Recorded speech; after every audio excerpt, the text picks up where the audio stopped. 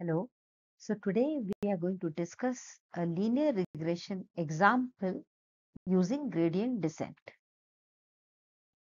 As a recap from the previous video, we see that we had defined linear regression where the predicted weight uh, value of y is given as a combination of weights.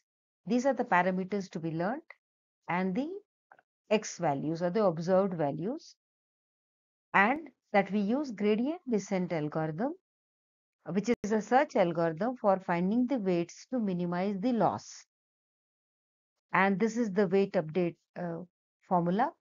The new weight is given as the previous weight with the weight update where alpha is the learning rate. We had also seen that this LMS update rule or withdraw Hoff learning rule is written in this manner it could be used as batch gradient descent or stochastic gradient descent. In the batch gradient descent, we take the values for all training examples and that is the example which we'll be going through in this video. In the previous one, we had seen the example with one training data. So we had just one value of x and y and we had these initial weights W03, W12 and the learning rate was 0.1. So this HX we computed and then we got the updated, the weight updated as 2.9. So 3 becomes 2.9 and W1 becomes 1.8. Okay, so after one update, this was the uh, scenario. This we discussed previously. So now today we are going to talk about batch training. So we have a very small sample uh, set of five data points. We have only one x dimension. So we have two weights W0, W1 and the learning rate is given to uh, given as 0.1. So the initial W0 is 3.3, W1 is 1.1. For reference, we have written this weight update how that is done and then finally how the weight new weight will be calculated. After this del by del wj lw is computed. Okay. So for given w0 and w1 we will compute the hx values for these given x's which are these. Okay, so how is this hx coming? 5.2 how do we get it we get it as 3.3 plus 1.9x. So this is this. So that is the general formula y equal to w0 plus w1x because we have only one dimension. Now the weight gradient updates which is this value uh, hx minus y into xj. So we do it for w0 and now we are doing it for all the examples because this is batch gradient descent so all the example uh, gradient updates we will take as hx minus y into the x0 which is 1 consistently. So 5.2 which is this hx minus 5 for the first x for the second 7.1 minus 6 9 minus 10 and so on. So when we add up we see that it comes to 0. That's okay. We just have used the formula and whatever we got as update. For W1, now for W1 we have hx minus y into x. So we'll take that particular x. So 5.2 minus 5 into 1 because this x is 1.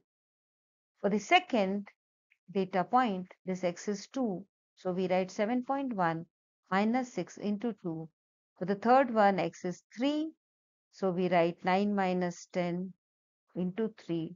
Similarly for the fourth and the fifth.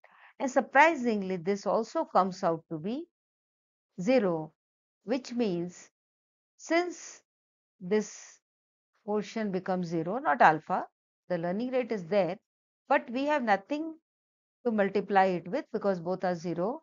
So for this particular example and these initialization weights, uh, we also compute the losses which are uh, given as the summation of the residuals, squares of residuals. So hx minus y squared at each point. So 5.2 squared, 1.1 squared and so on. It comes out to be 9.9 and we also see no change in weights. This happens to be so because of the particular W0, W1 we have taken. Okay, we'll take, uh, so these are the variations which may happen when you take the different initializations. So in the next slide, we'll take one more example. Okay, so here again, we have the same example, but now we have the new initialization and we will now give the solutions for two iterations. Here it is. So now W0 is 3 and W1 is 2. Previously it was something else. Learning rate, uh, rate is 0.1. So we compute the Hx for the first iteration and now see here the value of W0 does not change. If you compute for yourselves, you'll see that the weight updates for the W0 comes out to be 0 Okay, so this delta for the first comes out to be 0. So no update. However, for the second one, we do get an update of minus 1. So this multiplied by 0.1, which is the learning rate, uh, gets us to subtract 2 minus 0.1. So we get 1.9. So these are some things which you can try on your own and be confident that this is how the gradient uh, descent algorithm works. So we get this is the loss and these are the new values.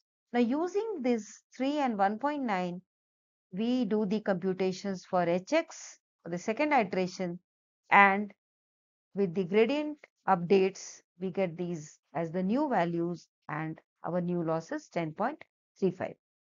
So this just gives you an idea how the gradient descent algorithm works we start with a given set of uh, weights, uh, random initializations, and also the learning rate, and then we see how the weight update takes place.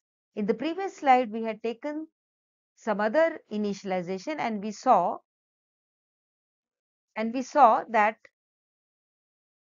the uh, there was no weight update both the gradients were zero however for this for 3 and 2, we did get a change in the W1. So this is how the gradient descent algorithm will uh, work and weight updates take place. We will go through more examples for better understanding. But for now, I hope this makes the concept clear to you. So thank you. Thanks for watching.